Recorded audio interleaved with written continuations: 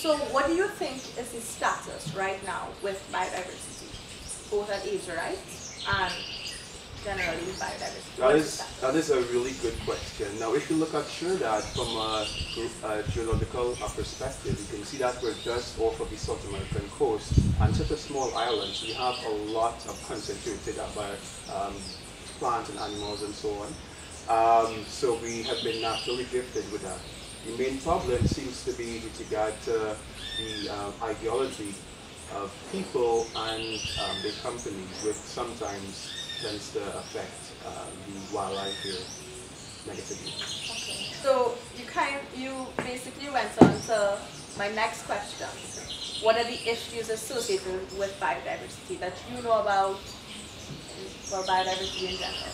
So many issues. Um, it's happening at uh, the world. You can see that there is quarrying, there is basically uh, um, land and degradation, hunting, the, the uh, global population is rising, so you need to facilitate uh, these people. So there are many, many issues um, which we are all facing, and uh, yeah, so it is a very, very big challenge.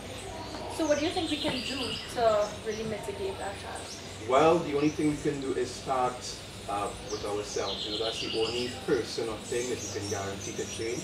So I think we all need to start looking uh, within ourselves as, as, as people, and as human beings, as someone who has uh, shared, you know, this, this space of lives um, with people. We, we need to start reducing our carbon footprint, basically. That's the most important thing. I fully agree with you. I, I've been I've been exposed to different conferences and I didn't realize how much carbon that we emit just by simple activities that we do. So we just spoke about the issues, but do you think Trinidad is doing enough to address those issues? Um, that is a very good question. Um, I would like to say no, but we are improving. Just uh, two months ago, there was a legislation passed for the protection of roughly 40% of the land um, in Trinidad, which is going to be um, our biggest step towards conservation. So things like that shows that there is promise. We have lots of laws and uh, regulations put in place, but the big issue always seems to be enforcement. And what do you think is the status of biodiversity in Trinidad? Is it a about topic? Well, it's a little more talked about now than it was previously, but um, generally, when I when I speak, I will focus more on the coastal and marine. Um, most of our ecosystems have been actually damaged, and what exists today are degraded. Um, that's because we live on a small island state, and most of our development is coastal, and everything that we do on land ends up in the oceans, which impacts our nearshore environment and our offshore environment. We also, well, oil producing countries, so a lot of our activities again occur in the ocean and that would have a negative impact on some on the biodiversity.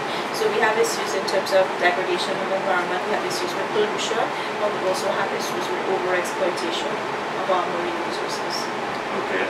It seems that there's numerous issues affecting us, especially as a small island. Do you know any ways that we can address these, or do you think that there are ways addressing them right now? Well, the, the things that the government is doing with regards to policy, um, developing policy and action plans and so on. Right now, um, we're, we, we're developing an integrated coastal zone management policy, and again, that has to to try to address some of the coastal zone issues because, as I mentioned, being on a small island, being a small island state, a lot of our impacts are actually from the land and along the coast where most of our development takes place. We work, we live on the coast. Um, so we have this policy that we have just sent to Cabinet for approval and then the next stage would be implementation. Um, we call it integrated because it looks at the entire continuum from ridge to reef, right? Um, we've done some work before and the other thing too that it, the policy tries to address not only conservation of our natural resources but also to adaptation to the impacts of climate change because as an island state we're quite vulnerable and we need to build our resilience and build our ecosystem resilience to these impacts. That is correct, that's true because we see nowadays that we are easily affected by it. Biodiversity means a lot to myself and the organization. Um, our goal is basically to bring back the biodiversity through the planting of forests and also it will lead to the increase in plant species, tree species, and also wildlife. So it's something that's very close to me personally. Um, it, it's aligned with my personal goals and objective, and also that of the National Reforestation Program, because we are mandated to do so. So it directly aligns with us. That's lovely.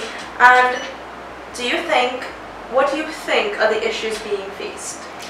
The issues being faced currently uh, under the team of biodiversity, I would say, is land management issues. Um, issues like quarrying, um, illegal agricultural activities, really hamper um, efforts to firstly restore and to maintain biodiversity in Trinidad and Tobago. So cases where people just go and slash and burn. Who light forest fires is a major issue as well, especially those of us in the forestry sector. Um, we have had losses of lives over the years. And also, so these activities and most of the fire, forest fires take place due to human activities, human negligence. And these things takes years to rehabilitate, I can speak to that, and they could be gone in an instant. So I think land management issues in terms of how we deal with quarrying, how we deal with um, illegal agriculture, enforcement as That's wonderful, um, Darren. But do you think that we are doing enough locally to address those issues? On one hand, I think there is a lot of civil society organizations that are working hard, trying, um, but there's always more to, that could be done. Um, on the national scale, I think that a little more vigor in terms of getting the policies out there, getting the enforcement taking place to help protect and give a little teeth to the groups and to the organizations like ourselves who want to protect and rehabilitate uh, areas that may be degraded. What does this topic mean to you? In terms of that, what do you think of the status? What you think of biodiversity? When you when you think of biodiversity, what does it mean to you? Biodiversity means so much to me, especially working at Asa Wright Nature Center because every day I am able to interact or see a lot of the different reptiles, birds that exist in Trinidad and Tobago that people may not see on a regular basis. Trinidad has a very high number of, a, a very high level of biodiversity. We have over 400 species of birds, about 100 species of mammals and several others. One of my favorite examples to give is the hummingbirds. We have about we have 18 species of hummingbirds in Trinidad and Tobago. And in the state of New York, there's actually only one species of hummingbird. Really? Yeah. Wow. So that puts it into perspective. So I think Trinidad and Tobago is a gold mine for wildlife, for plants and everybody needs to recognize that. Everybody needs to show an appreciation and do their part to protect. We were talking about, like you said, that how we have a lot of wildlife and a lot of flora and fauna. But are there any issues associated with it? Yeah. Is there any issues with anything in general? Yeah, so there will be issues as with anywhere. So we do have illegal hunting in Trinidad, we do have clearing of a lot of habitats for urbanization and different uses. Of course, we have pollution and we all know the environment needs to be clean for the animals and plants to thrive. We talked about what we could personally do, but do you think Trinidad is doing anything to address those issues? Well, I think they've made a, good, a step in the right direction recently by making the scarlet ibis an environmentally sensitive species. They increase the hunting fines a lot, and I think those two things will keep.